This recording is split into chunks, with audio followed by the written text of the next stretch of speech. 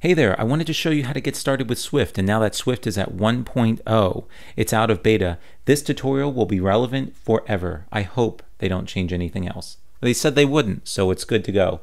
I wanted to start by introducing you to variables. Before I do, I wanted to tell you that you don't need to download Xcode. You can follow along at swiftstub.com, and when I say look at the answer, you just click run, and it'll run your code. And this is online, so you could do this even from a PC. So follow along at swiftstub.com if you'd like.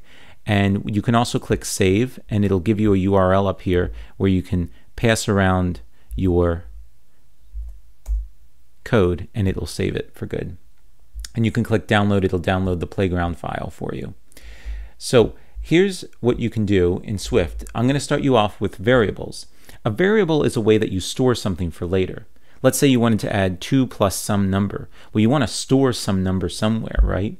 A variable can be changed too. So we're going to create a variable. You write var, that keyword var, and then the name of the variable.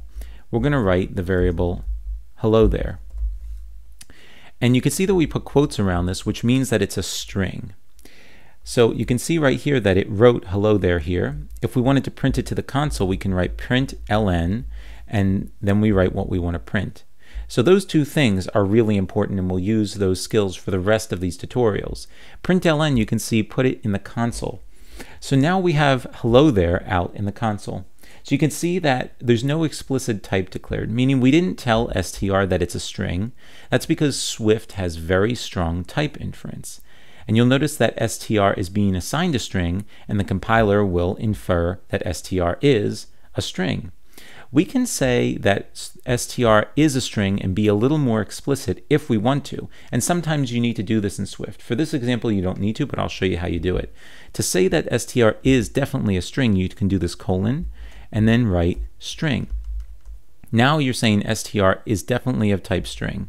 If you tried to assign this to something else, like a 1, we're going to get an error over here that says you can't do that because you said it was going to be a string. You lied to me. I hate being lied to.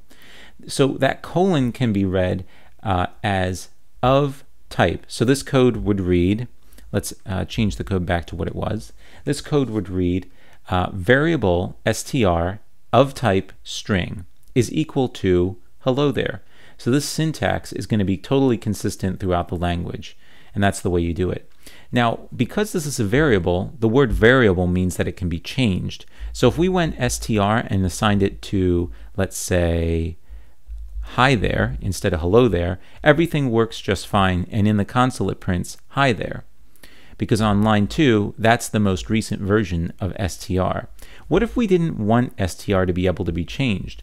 Right here on line 2, we're changing it to be something else. Well, we could assign it a constant, where variable means it can be changed, constant means it cannot be changed. So here we assign it to let, and we say let str be of type string equal to hello there. Now on line 2 you see we get a red circle. That red circle with the exclamation means there's an error. And that's because you said that it's a constant, and constants can't be changed. You tried to reassign something that can't be changed.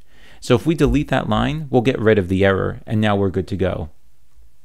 So you can see in this simple example that by creating a new constant, that will be an unchanged value. And if we try and change it, we're definitely going to get an error. There's no way around that. But in constants, there's a an important distinction between what this means for the value itself, like hello there is the value of the string, and we can remove this type here because I said we don't need it, because Swift can infer that.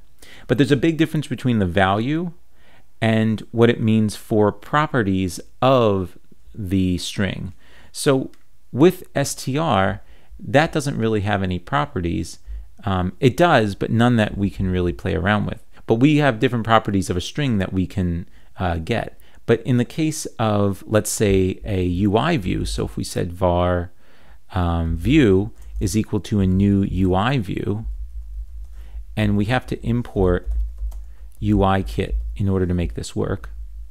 So now we have a UI view. Now if we wanted to say view dot background color is equal to UI color dot yellow. So now we have a new view which has a yellow color. And notice that if we make this view a constant, we don't get an error. Even though it looks like we changed something of the view, what we really changed was a property of the view.